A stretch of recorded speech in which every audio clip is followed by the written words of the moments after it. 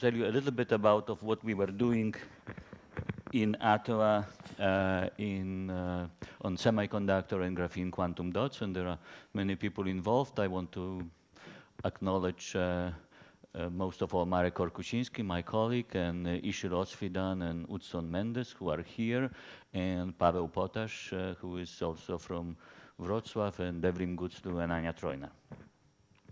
So uh, Sergei Studenikin gave a beautiful talk a couple of days ago on uh, localizing electrons in, in gated structures. Uh, I would like to talk a little bit about where we can take this capability in the future. And then I want to talk a little bit about uh, uh, quantum dots with uh, uh, in single magnetic ions as uh, uh, model systems for single atom memory or semiconductor spintronics. Then I will move to topological quantum dots in topological insulators and hopefully spend quite a bit of time on graphene quantum dots because graphene quantum dots uh, are also uh, materials for printable electronics, and that's a very large and growing field. And we had a, a beautiful uh, talk by Professor Sumio. We all recognize the hand. so uh, this is based on uh, the, the um, um, most of the results are based on a computational platform QNano, which we have developed. And this uh, platform is it's a multi-scale platform that starts with a structure, so with atomic structure of, a of, a, of a quantum dot um, with a given shape, composition, position of atoms, typically of the order of a billion atoms. And then we, uh, if there is strain involved, we calculate actual uh, position of those atoms. Uh, then we use a lot of uh, ab initio input to determine uh, bulk properties of strain materials uh, and input this to uh, different levels of approximation for single particle properties, mainly atomistic tight binding Hamiltonians. Uh, that can be done, at least for us, um, to, with, to about a million atoms. And then uh, the trick is to calculate all the Coulomb matrix elements, and that's that we learned from quantum chemists at NRC. Uh, and then we use uh, configuration interaction or density matrix renormalization group or a combination of those to determine uh, response function, so to determine interacting quasi-particles that uh, uh, that determine the response functions, such as uh, multi-excitons or high excitation optics, high bias transport. But I will mainly talk about physics with my fingers.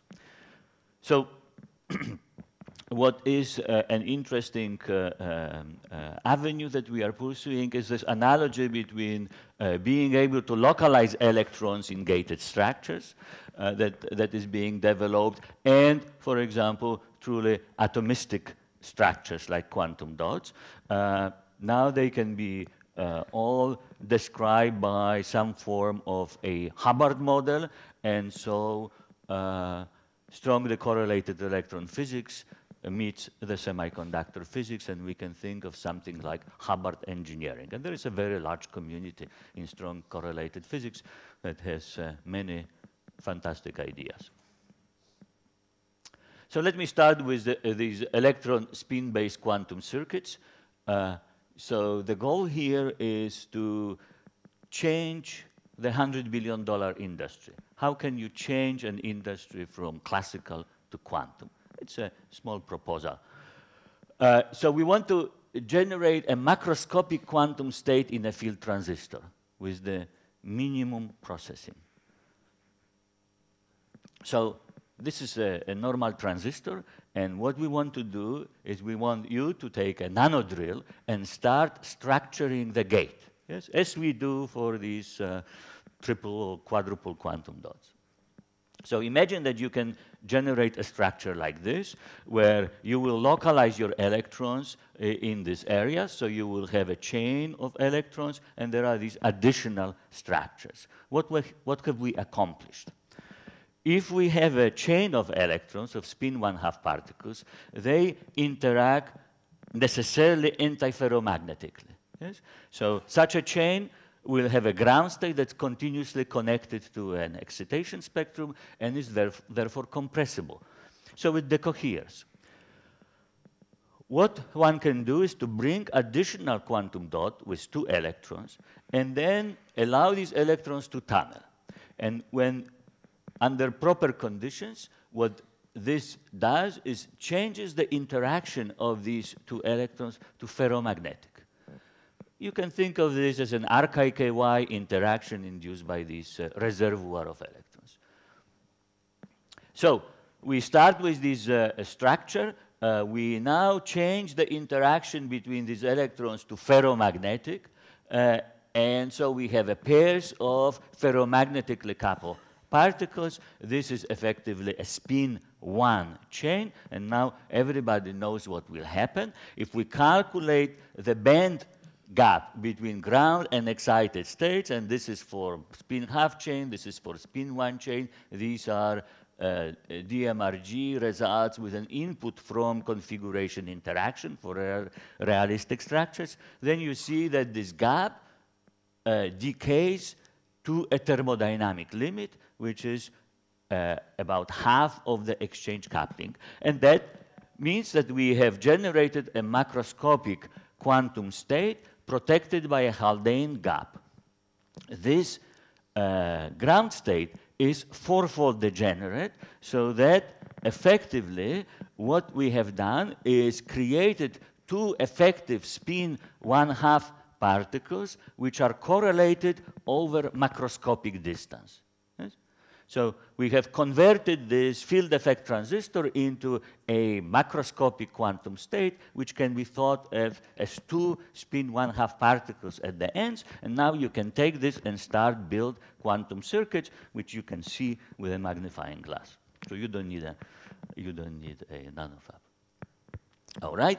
There are other applications of these quantum dot molecules in field effect transistors. Um, you can make a chirality-based qubit. Uh, you can use it for uh, GHZ entangled state generator. You can generate Berry's phase, and you can read uh, about uh, these uh, ideas, including also quantum spin blockade uh, in our recent paper. So, what else can we do?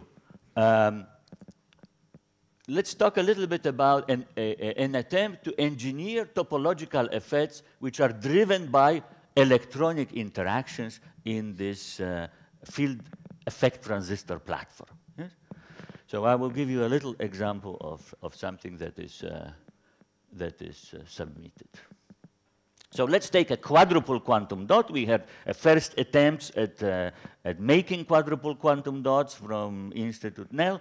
Uh, let's put one electron in each quantum dot, and let's assume that they are all spin polarized. And now let me remove one electron. This will be a hole. It's red, so it's a hole in a three-electron spin polarized complex. And uh, there is a lot of work on quantum rings in the correlated uh, uh community. But let's, let's focus on the physics. So what does this hole do? Uh, let's look at it, this whole tunneling from dot 1 to 2. There is a transition matrix element T, then it tunnels from 2 to 3, and then from 4 to 1.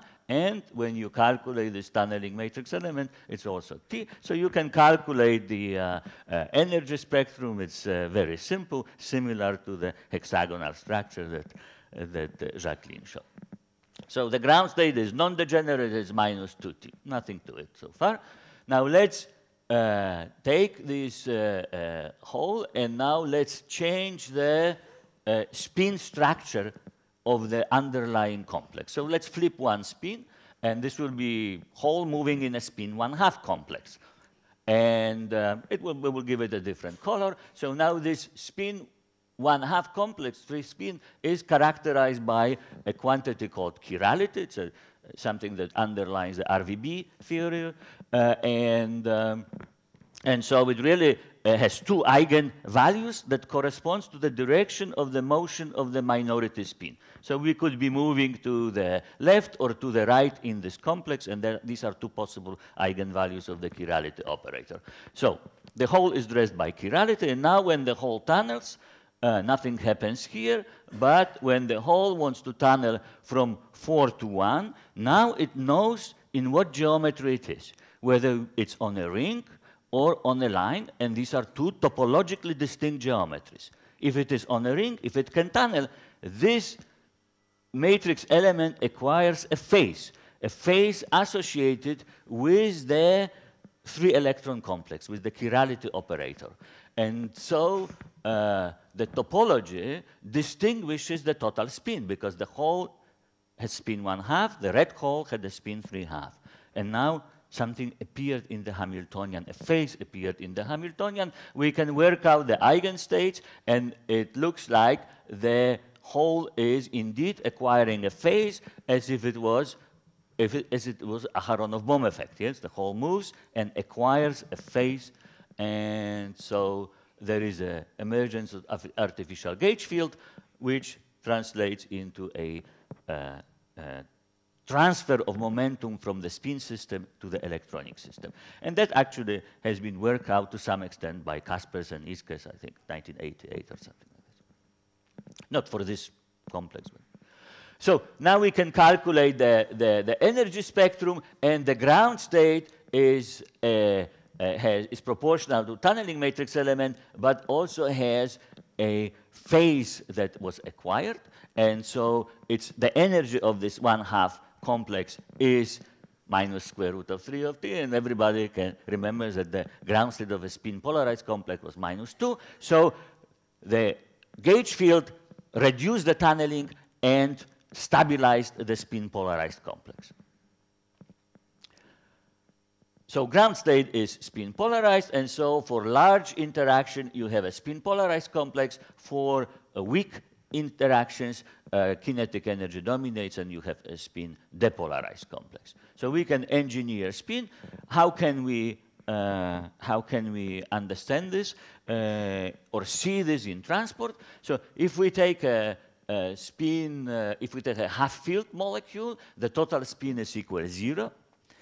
Now, when we removed one particle, something rather amazing happens because all electrons spin polarize. So so we just removed, and this is not the ground state, this is the ground state, and so the spin uh, is uh, large, and so the difference in spin is larger than the spin of a single electron, and so we can add a single electron, and there would be a spin blockade in such a structure. So if you wanted to have to generate a spin blockade, you know how to do this.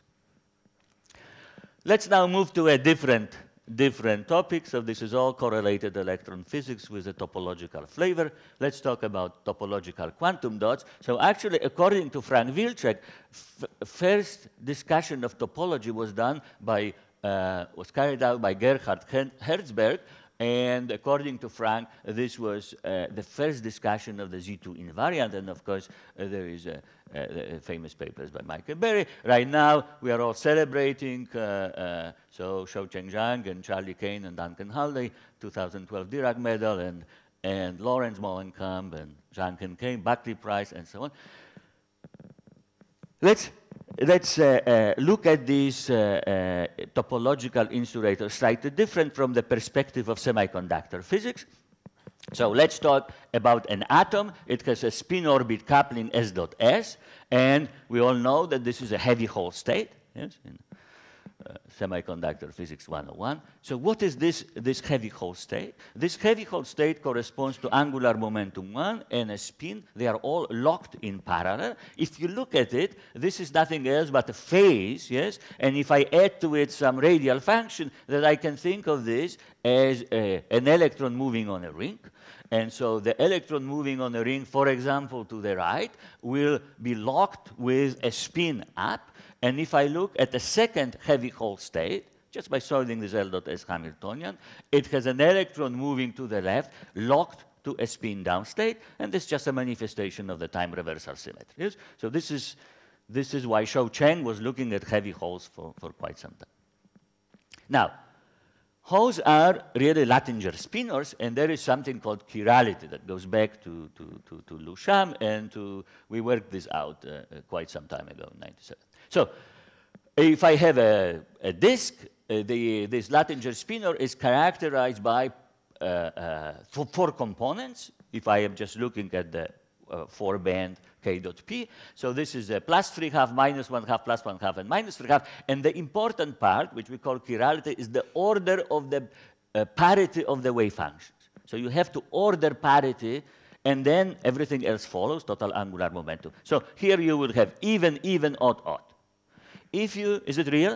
If you now bring a second disk, and uh, now this even, even is just uh, by, uh, bonding and anti-bonding states, and you can work out, uh, as Marek Korkusinski did in his thesis, you can work out what uh, uh, the energy of uh, the ground state is, and so it is mostly symmetric or bonding when the, when the dots are close, and then becomes anti-bonding where the dots are separated.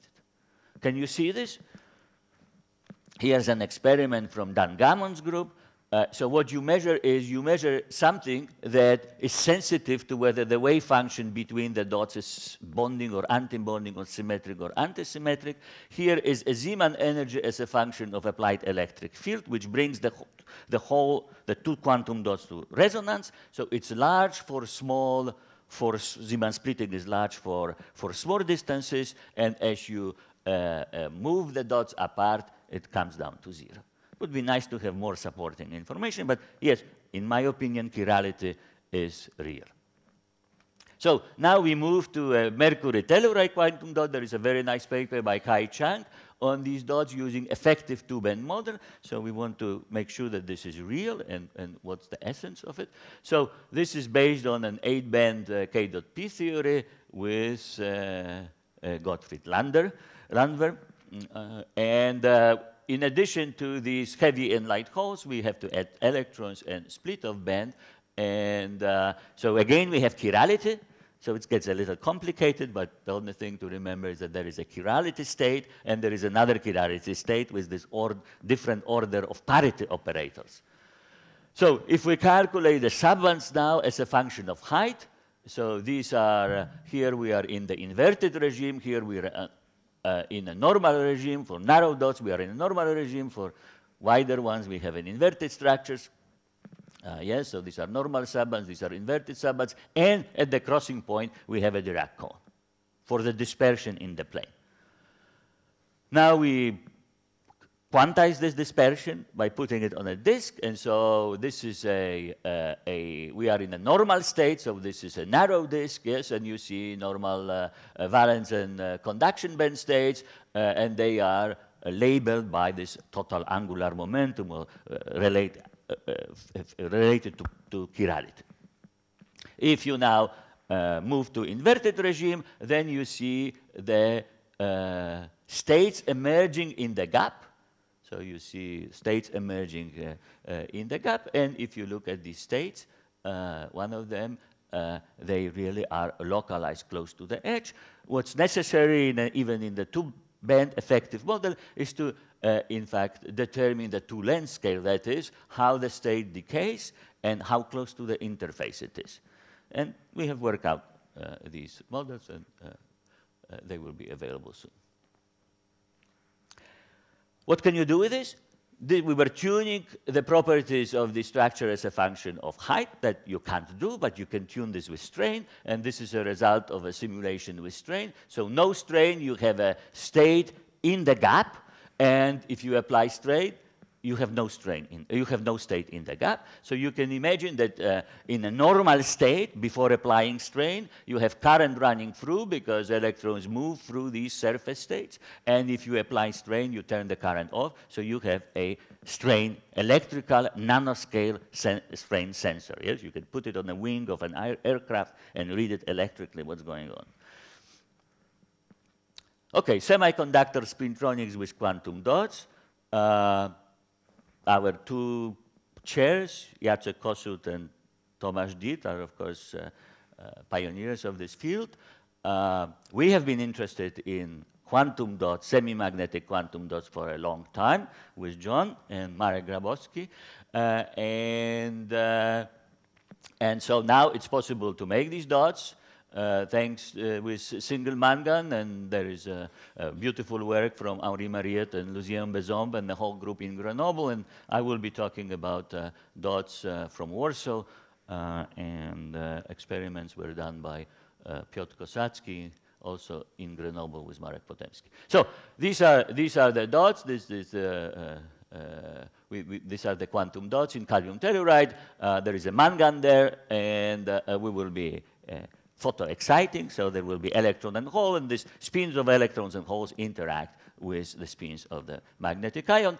Uh, the electrons uh, uh, have a shell structure and the holes have a shell structure, and you can see this shell structure by looking at the uh, highly emission from highly excited dots. So you have a S and P and D shell. And if you look into the S shell, you see the exciton recombination in the presence of the mangan. It's split into six, mainly six peaks. And then there is a biexciton emission spectrum. So we want to understand this uh, uh, structure. So there are uh, different exciton combination. You can have electron on S shell, hole on S shell, you can have on P shell, and as we have shown quite some time ago with Manfred Bayer, uh, you can have these SD configurations, which are not optically active, but they are uh, uh, mixed in by Coulomb interactions, and they are very important. Uh, and so you can write the exciton ground state as a linear combination of these configurations, properly symmetrized in Jacobi coordinates and so on. So a little more complicated than on this picture. And in, uh, in particular, there is, a, there is a, the minus sign there. So this complete, this interaction of this exciton with mangan is, is, is known because complete electron hole exchange and fine structure of exciton is now available in this uh, shell structure model. It depends on how many shells you, you have. You can depends on asymmetry of a quantum dot and so on. So that will be another talk. But it's available, so we can calculate the interaction of an exciton with the uh, magnetic ion, and I will focus on this aspect. So the first thing you want to do is you want to calculate the whole exchange interaction with magnetic ion. So this is an exchange Hamiltonian. These are the exchange couplings, and uh, this is the whole spin and the mangan spin. It's only JZ-MZ interaction. And if we now take and calculate the expectation value in the state of this interaction, it's proportional to MZ, to the magnetic projection of the magnetic ion. And it has a form. When we look at this uh, form, it consists of two terms. Uh, so uh, first term is just a normal interaction of the electron and the hole on an S state, but there is a additional term uh, which is proportional to the uh, amplitude of the exciton wave function on dark configuration, which is only possible due to electron-hole interactions and scattering from S to D shells. Yes, so this is a, a quantum interference between interactions and uh, mangan-mediated scattering. And uh, uh, Piotr Kossacki's group has measured these effects, and they are already reported. Uh, what I want to talk a, a, little bit about is a biexciton. A biexciton, in principle, should not interact with a magnetic ion because both electrons and holes are in a singlet state, so they do not see the magnetic ion. Uh, on the other hand, there are these excited states. For example, for holes, you can have a spin polarized uh, uh, complex, and you can also have a spin polarized complex for, for an electron, and we have predicted uh, their behavior quite some time ago. Uh, and so there are also complexes where only holes are polarized.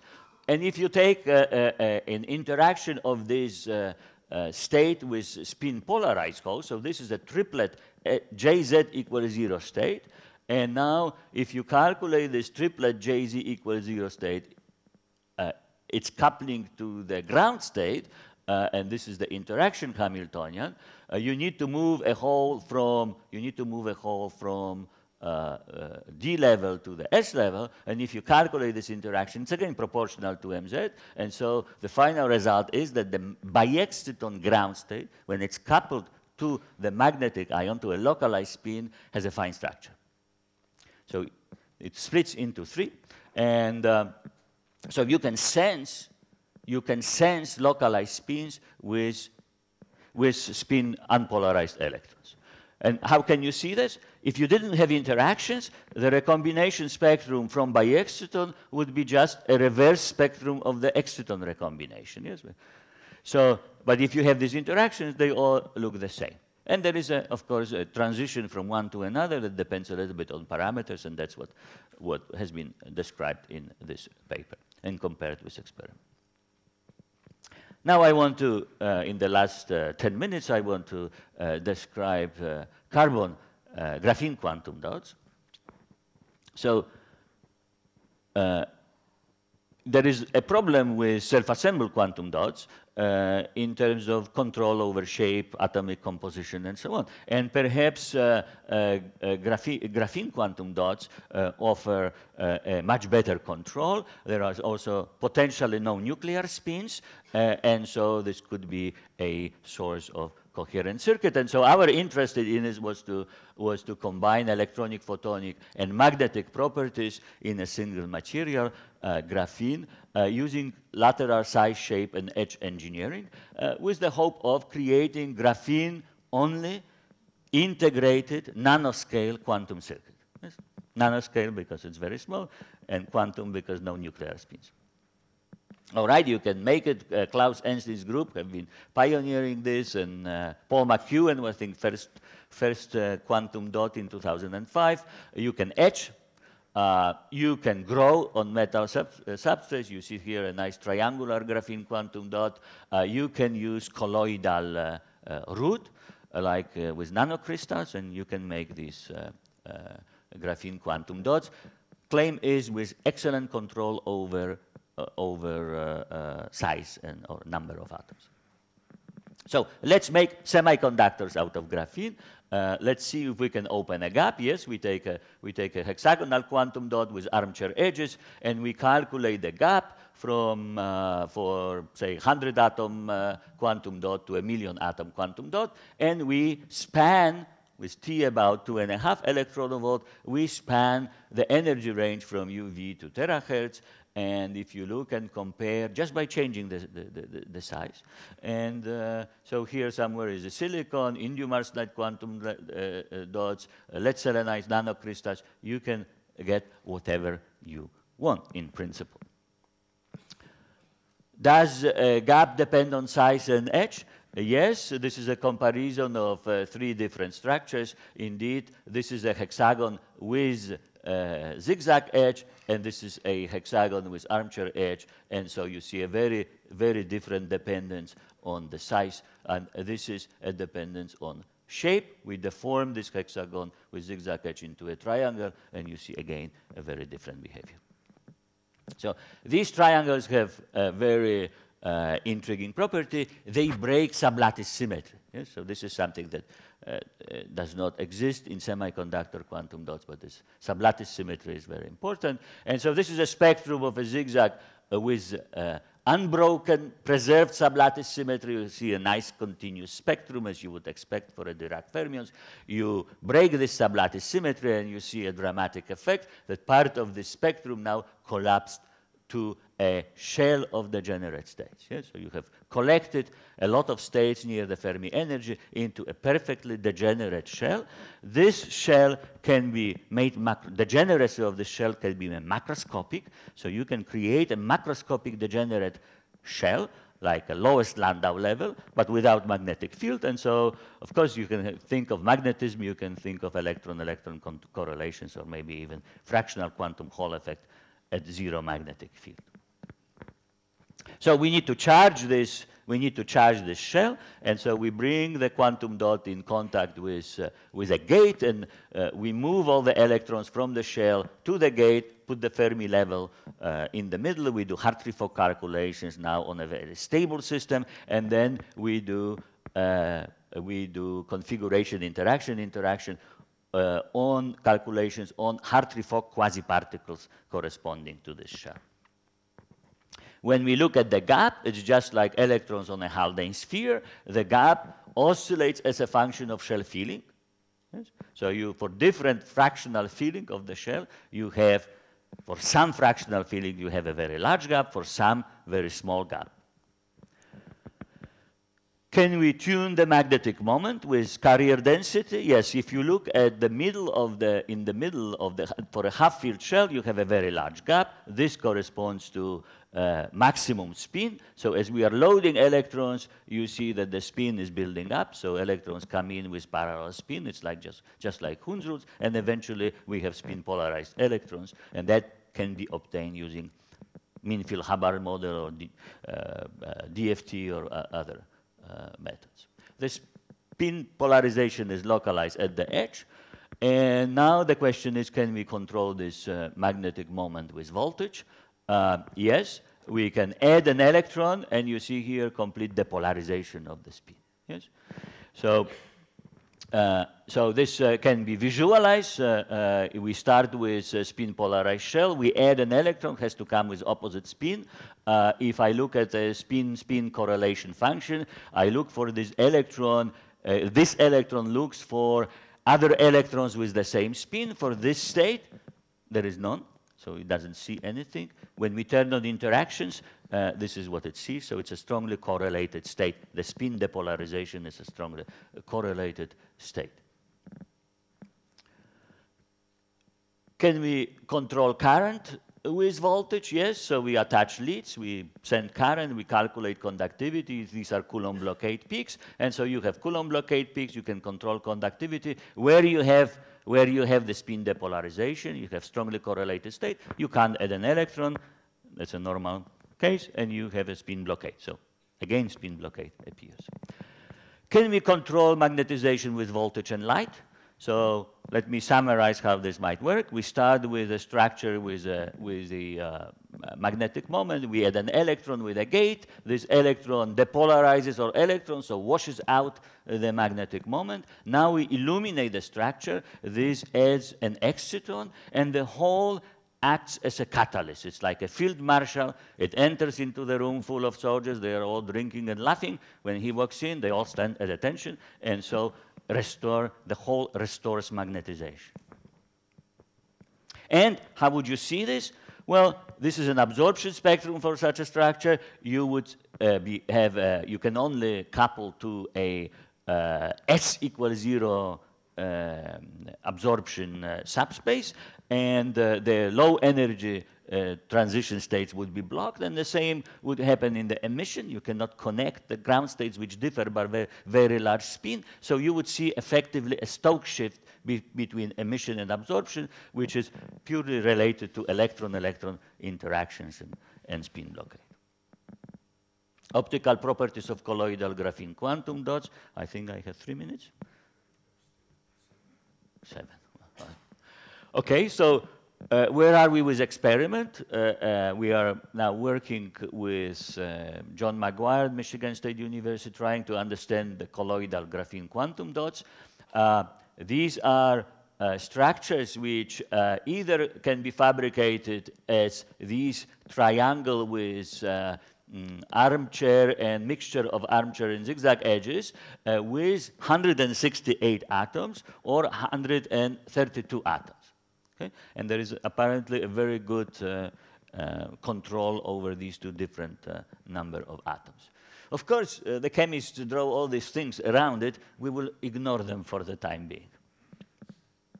So if you calculate the, uh, the tight binding uh, and tight binding and Hartree-Fock energy spectrum, I am plotting it now as a function of eigenstate index and then plotting it back so that we can see more. you see a band gap and you see that the tight binding and Hartree-Fock gaps are almost identical. There is now an asymmetry between electron and hole, between valence and conduction band, as is always in Hartree-Fock. So how can we understand now optical properties? The valence and conduction band, the top of the valence band and the bottom of conduction bands are doubly degenerate. This double degenerate degeneracy is associated with a remnant of valley, uh, uh, of valley degeneracy. It can be related to the symmetry of the structure, really, but to the symmetry of the hexagonal ring. Here we come to the same hexagon. Um, and so, because of course it's made of hexagon rings. If you sit in the center, you, the first thing you see is a hexagon ring. So uh, we, we can, we can we, when we look at the top of the valence band, we create excitations to the conduction band, and there are four times four possible electron hole pairs, four because of orbital uh, degeneracy and, and, and four because of spin degeneracy. Yes? So there is a total of 16 possible states, and they uh, can be classified first into singlets and triplets. So this is normal electron hole exchange. But then there is a scattering among singlets associated with this orbital degeneracy, and we end up with uh, dark singlets uh, overlapping with dark triplets and a two bright singlet states, just like in semiconductor quantum dots. There are two degenerate singlet states. You can look at the excitation spectrum. So in a Hartree-Fock, of course, you have uh, somewhere here an, an, absorption spectrum. These states are degenerate. But when you turn on correlations, you have a, a redshift. That's an excitonic effect. And then you have this splitting of uh, the band of singlet states into bright doublet and a dark uh, uh, states that overlap with your dark triplet exciton states. Future. Can you make topological insulator without spin orbit coupling? And can you do it in graphene? Well, yes, you in principle can. You take a graphene nanoribbon and you twist it. Yes, and you twist it, and it will have one edge now. You have to wind twice, so there is a twist in it. It has one edge, so it's effectively a quantum dot. It's another version of a topological quantum dot, but without spin orbit coupling. And in graphene, if you just uh, calculate in the simplest, uh, simplest ring, a normal ring has a normal spectrum, uh, meaning it has uh, some uh, um, state, two states, degenerate states at the top of the valence band, and two states at the bottom of the conduction band, and a well-developed gap. If you, on the other hand, take this ring and twist it, uh, the smallest one, you see an appearance of zero energy states, Majoranas, maybe. Uh, if you now make a much wider ring, uh, they have zigzag edges, so you have the edge states coming in, the, the, the, zero energy shell we discussed for, for triangular quantum dots, but you have these topological states that interfere. So for example, here you have this competition between edge states and topology. Uh, so uh, you have additional states in, the, in this degenerate shell. And when you turn on interactions, as we do, for two, well, so these states come in and uh, enter the, the, the, zero energy shell. And uh, if you calculate the ground state, let's look only at the black dots here, a total spin of the uh, of the ground state. It oscillates as a function of filling of this shell, and uh, it uh, looks like a, a, a, combination of up and down spin domain domains with domain walls, which are the topological excitations in this case. So this is just the beginning of this structure. I covered some of our work, uh, some uh, very new, some, some, some older. I talked about possibility of uh, uh, creating a, semi, a field effect transistor with a macroscopic quantum state. I talk a little bit about how you could uh, uh, holes that are Luttinger spinors and how you'd make, you could make an electrical strain sensor using these uh, topological quantum dots. I, um, I talk a little bit about what it really means to uh, manipulate manipulate mangan with, uh, with excitons in a quantum dot, and the fact that, rather surprisingly, you could uh, couple and detect localized spins with spin singlet uh, uh, electrons. It's not really very surprising because there is Kondo effect. You start with a, with a singlet metal and, and you put magnetic impurity and you see it. Um, and then I, I, I, talk about something that we are very excited, that is uh, carbononics or electronics, photonics, and magnetism with graphene quantum dots. Um, I want to, most of all, acknowledge uh, again my collaborators who contributed to this work, thank them, and thank you for your attention. Thank you.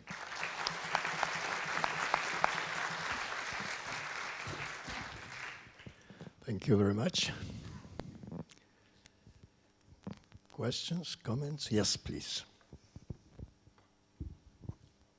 Uh, you, you covered a lot of material, and I'm sort of vaguely remembering the beginnings of your talk.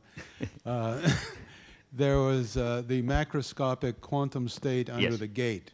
Mhm. And uh, I'm curious about charging and discharging times of something like that.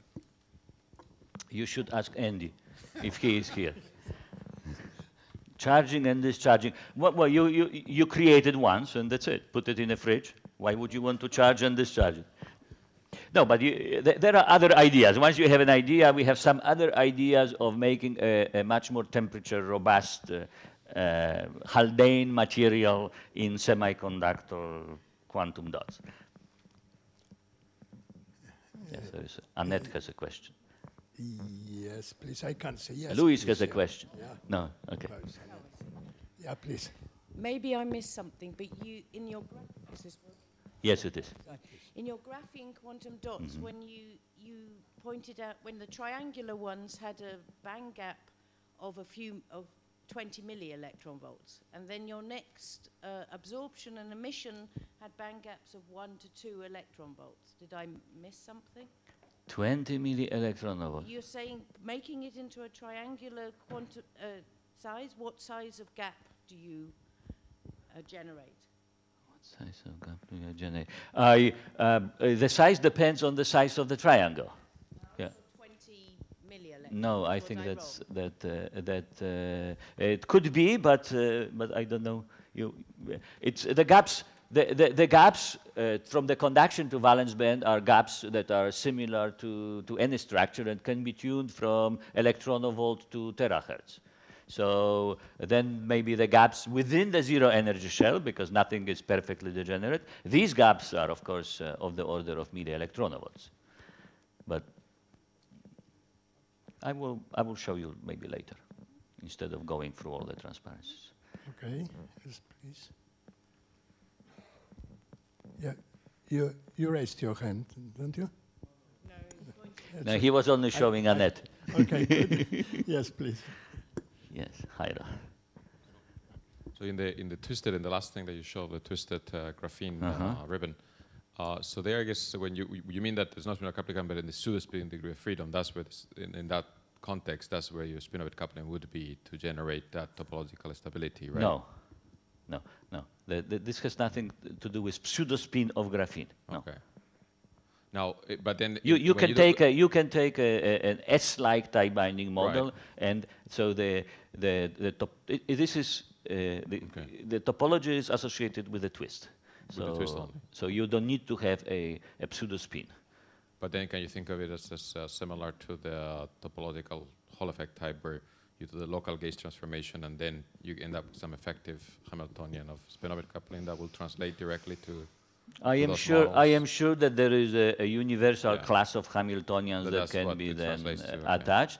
Uh, you can show that. Uh, at least for, for small ribbons, one can derive an effective Hamiltonian Mm-hmm. uh, that uh, demonstrate the, demonstrates the presence of a gauge, artificial gauge field associated with this twist. But we actually have a, a very different uh, derivation which does not involve this gauge field. But there is a there is a, an order parameter like in polyacetylene. But in, in that case, you have states at the different edges of it, or just within just single, just in the dot itself.